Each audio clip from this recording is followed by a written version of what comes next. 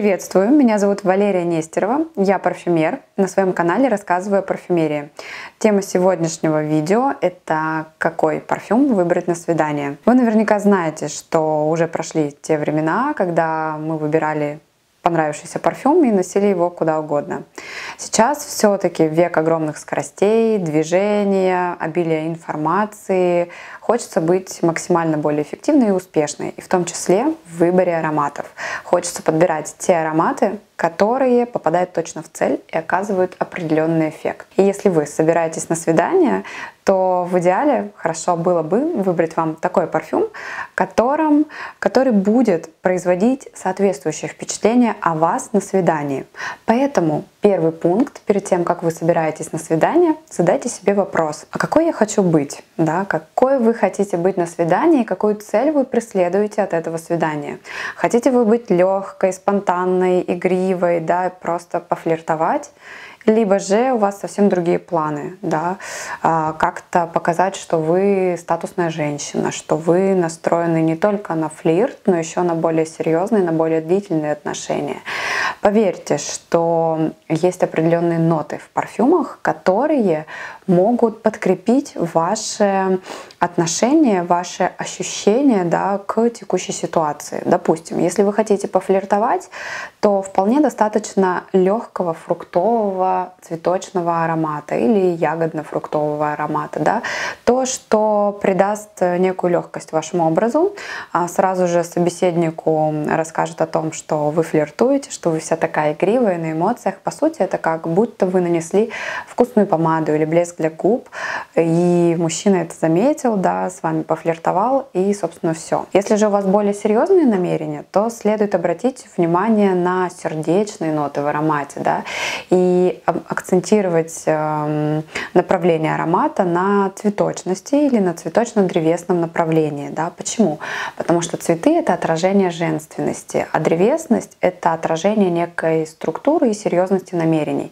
Поэтому у вас, если есть более серьезные намерения, да, то отражайте это через древесность в ароматах. Пусть даже вы об этом сами точно не знаете, как оно будет воздействовать, но оно будет воздействовать с двух сторон, как на вас изнутри, так и на собеседника, да, с которым вы идете, допустим, на свидание.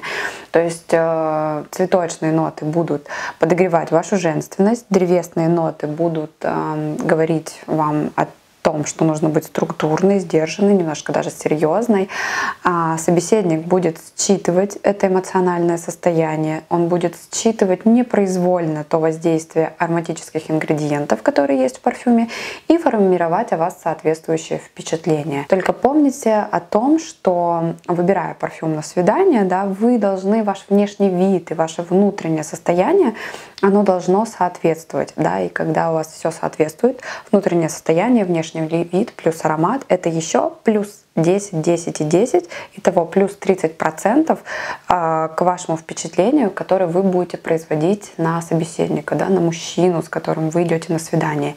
И если наоборот, да, дело касается мужчины, который идет на свидание, соответственно, на какие ноты ему следует обратить внимание в парфюмах.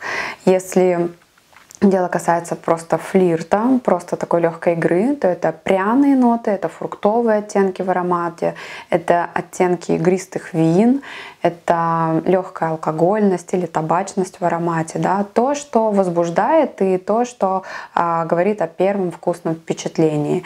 Если же больше такое как бы у нас э, серьезные намерения, то также обращаем внимание на амбровые ноты в аромате и на древесные. Они, как правило, структурируют, собирают образ, и вы становитесь более статусным а, в глазах эм, в вашем впечатлении в глазах девушки, женщины, с которой идете на свидание. На самом деле а, я вам рассказала такую легкую поверхностную историю, да, на что стоит обратить внимание при выборе ароматов, когда вы идете на свидание, но можно научиться грамотно управлять своим ароматическим впечатлением не только в данной области, но, допустим, когда вы идете на деловые переговоры, когда у вас предстоит какое-то важное мероприятие. Поверьте, в каждый момент времени вы хотите быть разные и производить определенное впечатление.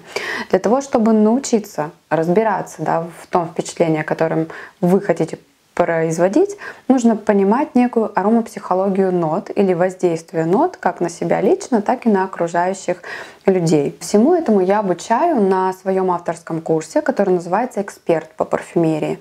Подробности и ссылочку я оставлю под видео. Вы можете ознакомиться с программой обучения, а, стоимостью, что входит в курс. И если появятся у вас какие-то вопросы, вы можете задать их под видео. Ну а я с вами прощаюсь, увидимся с вами в следующих видео. До новых встреч!